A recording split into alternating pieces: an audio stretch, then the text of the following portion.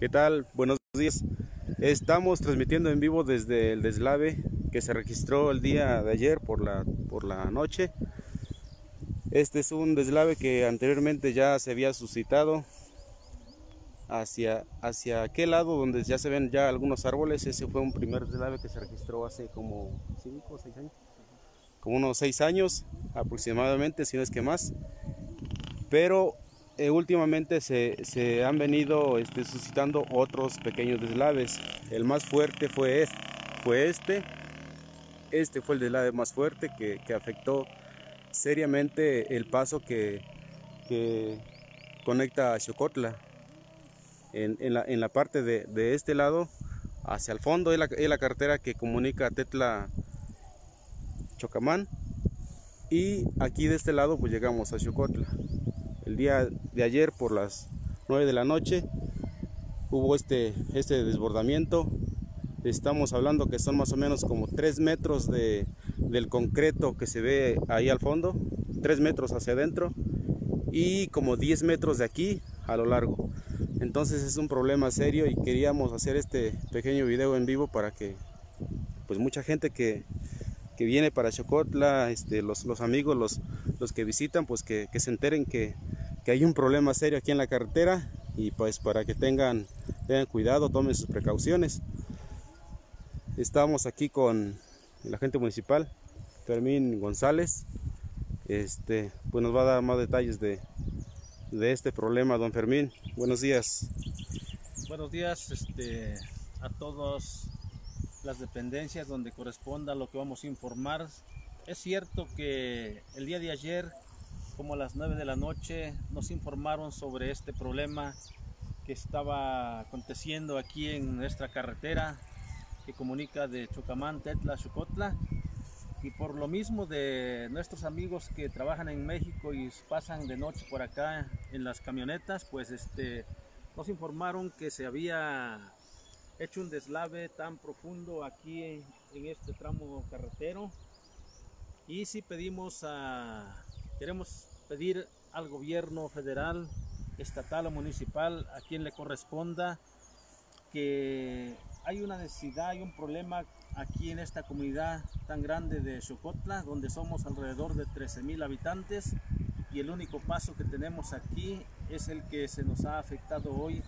Y lo sentimos mucho porque quedaríamos incomunicados definitivo y queremos pedir al gobierno que sabemos que hay un recurso de desastres naturales dispuestos para este problema y queremos pedirle al gobierno que se use en esta situación en nuestro problema, ya que es el momento de que el gobierno mire hacia esta comunidad, una comunidad tan grande donde pues ahora sí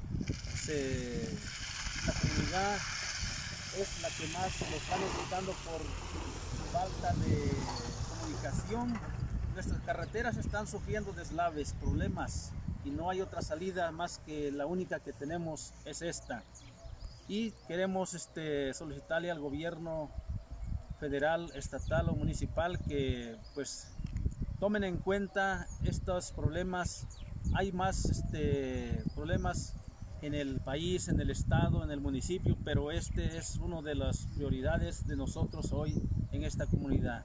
Y sí queremos un poco pedirle, exigir que así como en otros lugares cuando acontece esto, inmediatamente los gobiernos pues este, voltean hacia acá y les, les dan los apoyos.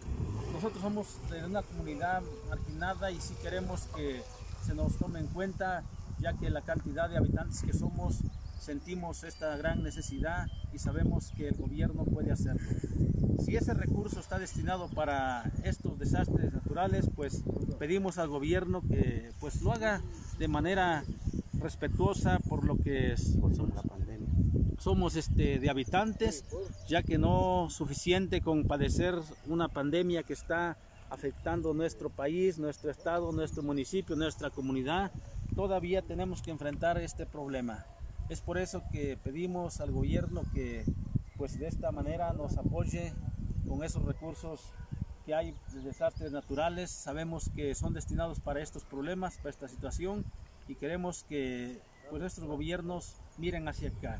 no únicamente volteen a mirarnos cuando se necesite el voto, cuando se necesiten de nuestro voto, de nuestra, de nuestra comunidad, de nuestro personal, ya que pues, en tiempos políticos se nos toma mucho en cuenta por la cantidad de habitantes que somos, pero pues ahora somos nosotros los que necesitamos de ustedes y sabemos y queremos pensar que no nos van a defraudar con esta necesidad. Así es que les pedimos aquí un servidor y a nombre de esta comunidad que pues este, nos apoyen, traten de dar solución cuanto antes mejor, ya que pues este, con otra lluvia que vaya a caer podemos quedar incomunicados y no sabemos qué vamos a hacer para la cantidad de habitantes que estamos sufriendo todo esto en esta comunidad.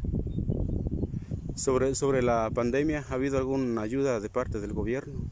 Sobre la pandemia, pues ayudas de gobierno, solo las prevenciones que nos están dando, pero así claramente viendo que llegue algún por parte del gobierno, alguna brigada de médicos a, no ha venido nadie. la comunidad, pues hasta ahorita no ha habido nada y este pues es algo que nos tiene nada más este atormentados.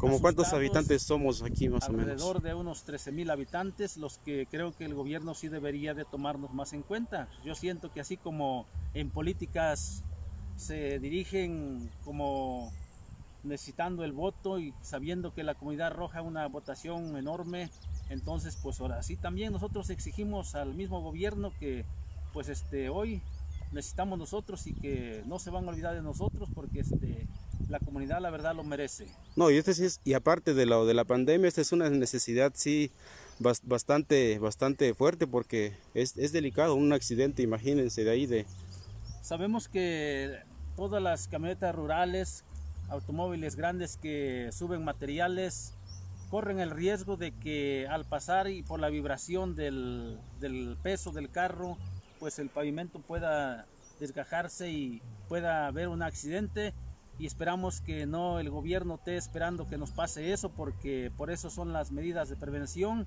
Hay que hacerlo cuanto antes, antes de lamentar un accidente aún mayor. Entonces ahorita solamente ha sido la naturaleza, lo que se ha desbordado aquí en este camino, pero esperamos que no haya alguna pérdida humana para que el gobierno pueda voltearse hacia acá, voltear hacia nosotros. No queremos que pase eso. El gobierno es un ser humano, nosotros somos seres humanos y todos sentimos lo mismo y pues el gobierno está obligado a mirar hacia acá y dar soluciones a nuestros problemas. Pues bueno, este, los que se están conectando ahorita ahí en vivo en la página, pues este nosotros llegamos ayer más o menos como las entre 8 y 9 de la noche y, no solamente fue esto, fue en la carretera que, viene de aquí de Tetla, este, igual hubo pequeños deslaves, no, no tanto como estos, pero sí hubo deslaves, hubo bastantes piedras tiradas en el camino, igual todo eso ocasiona accidentes, pero bueno, estamos hablando de unos deslaves leves, pero, pero este sí, sí estuvo bastante fuerte porque a ver si alcanzan a ver, perdón por la, mala transmisión, casi no hay señal, pero todo, todo esto, todo esto son más o menos como unos 100 metros desde acá, desde, desde esa esquina hasta, allá, hasta el fondo, como unos 60 por unos 20, 30 metros de, profundidad. Y, este, y, el problema sí es bastante, bastante serio, bastante grave. Pero bueno, este, ya lo dijo aquí el agente municipal, confiamos nosotros en las autoridades, nosotros confiamos que, nos van a venir a echar la mano, que va a venir, no sé a quién, a quién dependa este tipo de cosas, nosotros desconocemos ese, ese tipo de, cosas, pero pues sí, este, confiamos que nos van a venir a echar la mano. Entonces, este, hay, ha habido muchas personas que vienen, este, este, curiosamente, a ver qué es lo que pasó también les pedimos que tengan cuidado porque si, si vienen, que no, no, se, no se orillen tanto porque esto está muy, está muy débil y, en un momento se, se nos pueda caer.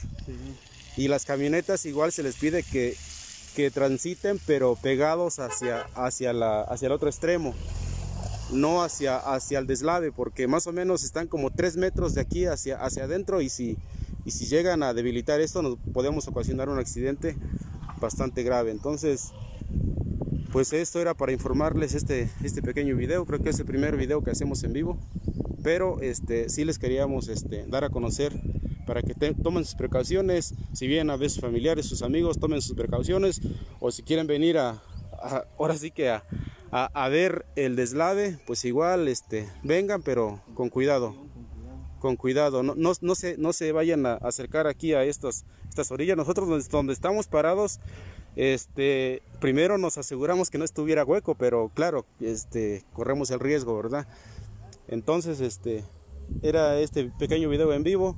Gracias a los más de 60 que se conectaron.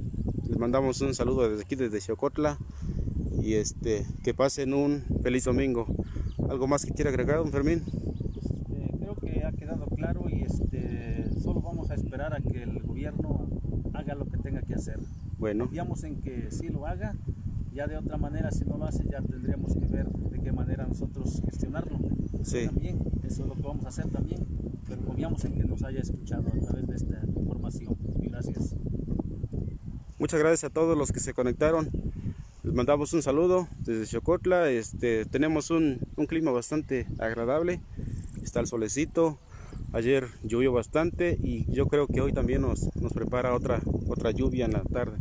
Allá al fondo está el volcán que, le dicen el Citlaltepet o el pico de Orizaba. Eh, Ricardo, sí, esta es la carretera que va a Chocotla, que viene de, Tetla a, a, Chocotla. Estamos, estamos prácticamente acabando de, subir. Este viene siendo un cerro. Y sí, este, este es el camino que que va Chocotla. Ahí está el, allá está nuestro majestuoso Citlaltepet, el pico de Orizaba, famosísimo por cierto. Y pues acá estamos. Muchas gracias a todos. Que tengan un feliz día.